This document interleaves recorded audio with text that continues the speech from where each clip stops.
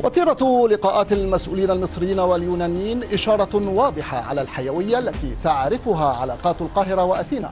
علاقات توجت مؤخرا بترسيم الحدود البحرية وتحديد المنطقة الاقتصادية الخالصة بين مصر واليونان. تعاون وتنسيق تعززه الرؤية المشتركة للعديد من الملفات والرغبة الأكيدة للحفاظ على الأمن شرقي المتوسط ورفض التصرفات الاستفزازية التي تزعزع الاستقرار خطوة ينظر إليها على أنها إغلاق لباب أطماع أنقرة التي وضعت نصب عينيها السيطرة على ثروات البحر المتوسط. والدليل التودد الذي بدأ الرئيس التركي يبديه تجاه القاهرة. أرحب أرحب معي في الاستوديو بمستشار مركز الأهرام للدراسات السياسية والاستراتيجية الأستاذ مجدي صبحي ومن أثينا أستاذ الاقتصاد وإدارة الأزمات في جامعة كارديف متروبوليتان الدكتور عبد اللطيف درويش. أهلا بكما. أرحب بك من جديد أستاذ مجدي وأبدأ معك بالسؤال المحوري الآن ونحن نتابع تطورات الموقف الشرقي المتوسط هذا التعاون الوثيق الذي نلحظه والاتصالات المستمرة بين القاهرة وأثينا هل هو تعاون مرحلي أم استراتيجي؟ أعتقد أن كافة الأمور التي تجري في المنطقة ترشح لهذا التعاون أن يكون تعاون استراتيجي في الحقيقة لأنه حجم المصالح المتبادلة بين الجانبين كبير جدا وهو يزيد بالمناسبة عن مجرد التنقيب عن النفط والغاز في المنطقة هناك مصالح اقتصادية كبيرة تجمع البلدين سواء على مستوى التجارة أو مستوى الاستثمار أو مستوى السياحة حتى في في المنطقة. كلا البلدين السياحة نشاط رئيسي بالنسبة لهما. طرحت في السابق بعض الخطط التعاونية في تنظيم جولات مشتركة ما بين البلدين وبالتالي هناك آفاق واسعة لتنمية التعاون ما بين البلدين على المستويات الاقتصادية والسياسية بالطبع مع تزايد التحديات في شرق المتوسط. ولكن تحديات شرق المتوسط يعني تلقي الآن بظلالها على كل التحركات. يعني عندما يتحدث الرئيس التركي ويقول أنه بالإمكان التوصل إلى مساحة ما للتفاهم مع مصر إذا ما رجعت الاتفاقية البحرية مع اليونان. أنا أعتقد طبعا هذا هذا هو موضوع الساعة. فجره بالطبع. اولا الاتفاق التركي الليبي على تقسيم المنطقة الحدود البحرية بين البلدين وهما بلدان ليس متوجهين بحيث يكون بينهما مثل هذا التقسيم. هذا التقسيم جار على حقوق العديد من الدول في المنطقة وخاصة اليونان ومصر. وبالتالي كانت المصارعة بالاتفاق ما بين مصر واليونان على تحديد حدودهما البحرية تضع حدا لهذا التدخل التركي المستفز في المنطقة. طيب دعني أرحب من جديد بضيفي في أثينا الدكتور عبد اللطيف درويش، دكتور عبد اللطيف مساء الخير.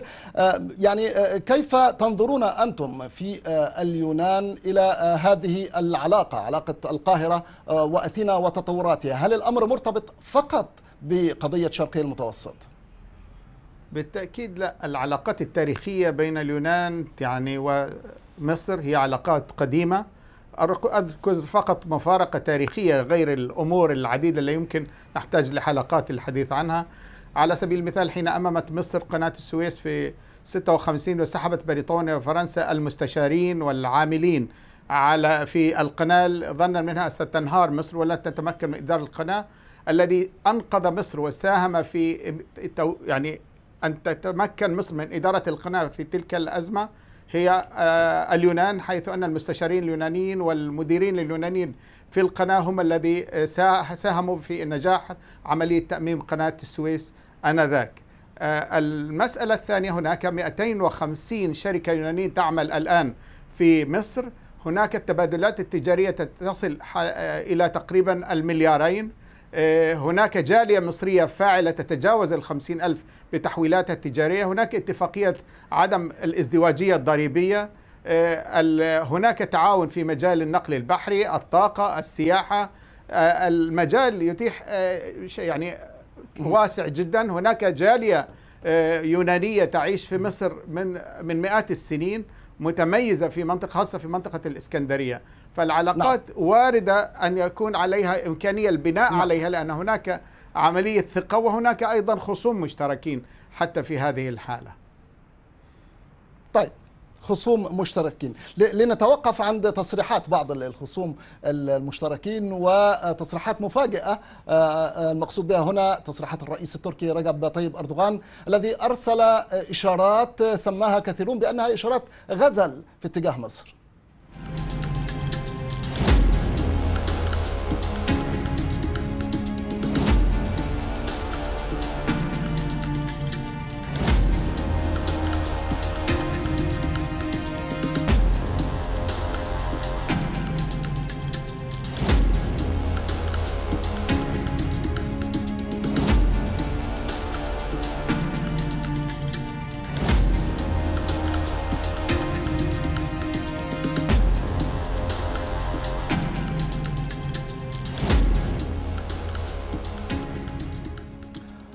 أستاذ مجدي صبحي يعني تابعت تصريحات الرئيس أردوغان. هل هي مجرد مراوغة؟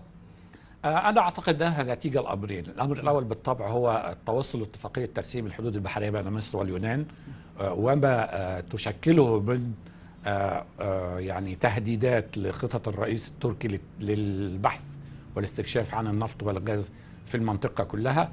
الأمر الثاني في الحقيقة هو التهديد بعقوبات من الاتحاد الأوروبي على تركيا إذا لم تعد لخط المفاوضة حول حقوقها البحرية في المنطقة.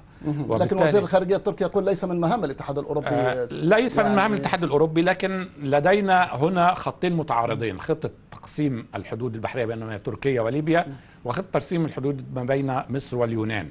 المنطقي في هذه الحالة هو الرجوع إلى التحكيم الدولي.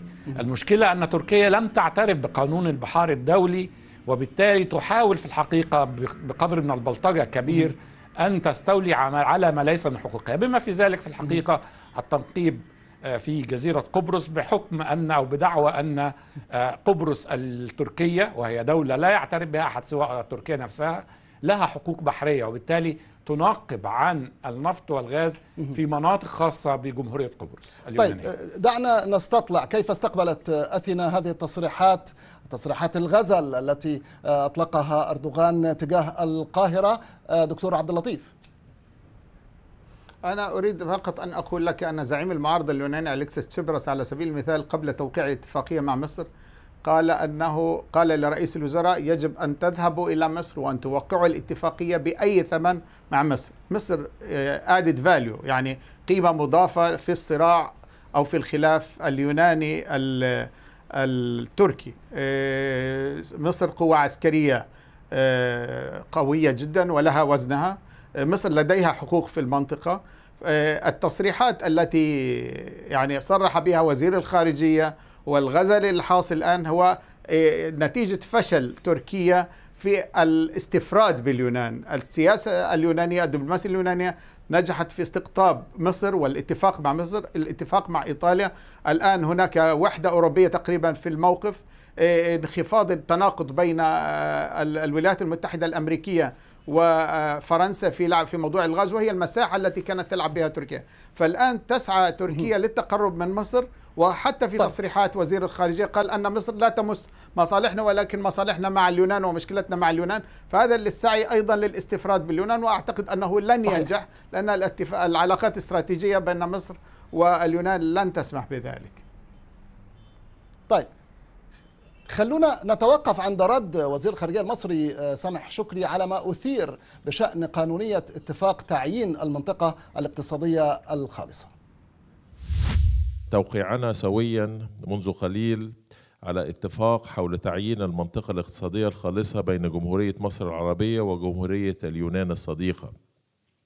وهو الاتفاق الذي تم التوصل إليه بعد سلسلة من جولات التفاوض بين البلدين الصديقين خلال السنوات الماضية وتتوافق كافة بنوده مع قواعد القانون الدولي واتفاقية الأمم المتحدة لقانون البحار.